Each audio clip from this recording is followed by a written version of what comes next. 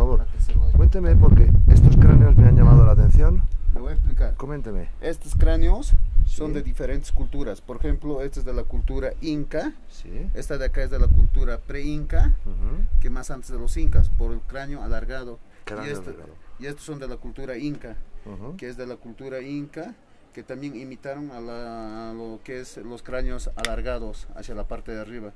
Ajá. Cuando eran niños, en la cultura inca se le ponían pequeñas tablas en la parte de acá.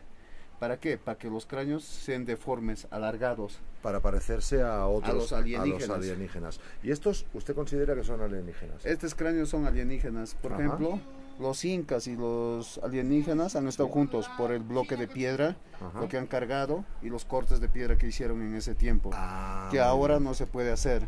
Entonces, los incas imitaron haciéndolo la deformación de los cráneos para alcanzar al nivel de este tipo de cráneos que son de los alienígenas.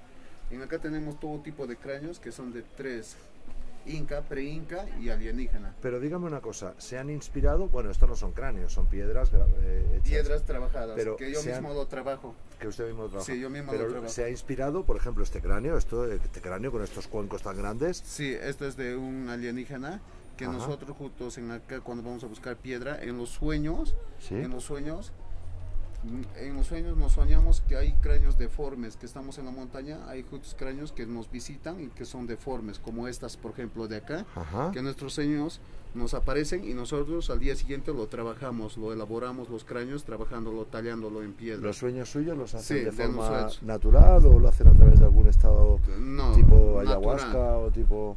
Natural, porque Natural. cuando nosotros vamos a las montañas, en las montañas más cuando vamos a buscar piedra, Sí. nos aparecen justo los sueños más cuando estamos descansando en la noche. Ajá. Por eso se hacen los cráneos alargados, que es de la cultura justos inca, pre-inca y alienígenas.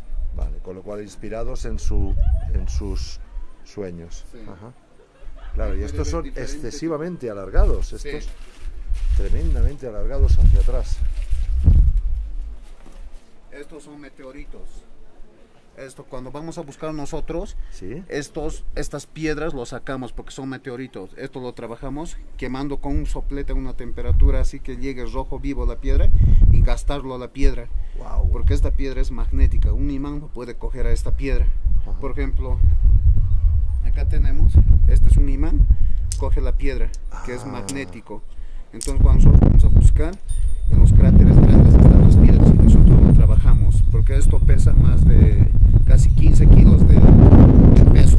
Esto pesa Sí, Madre mía, 15 Sí. kilos me dices, 15 ¿verdad? kilos. Tremendo lo que. Esto es justo una piedra que en acá en el tiempo de los incas todavía se utilizaba como medicina esta piedra, porque es dominante a todo tipo de granito esta piedra. Ya. Que los incas lo utilizaron también para las construcciones raspando al granito con este tipo de piedra, meteorito. De ahí. Genial. Muy Eh, lindo. ¿Me puede decir su nombre? Enrique, Enrique. Enrique, Pues Enrique, muchísimas gracias. qué amiga. Gracias. Wow. Acá tiene los cráneos deformes y acá también tiene diferente tipo de cráneos. Por ejemplo, estas de acá, cráneos más alargados. Sí, sí. Que en acá se encontró un tipo de cráneo como esto, que es una imitación de un cráneo que se encontró ¿Y dónde alargado. está ese cráneo que se encontró? está exhibiéndose en un museo del Cusco, En Cusco, sí, en Coricancha. Coricancha. Sí. Pues Enrique, eso usted muy amable. Gracias, amigo.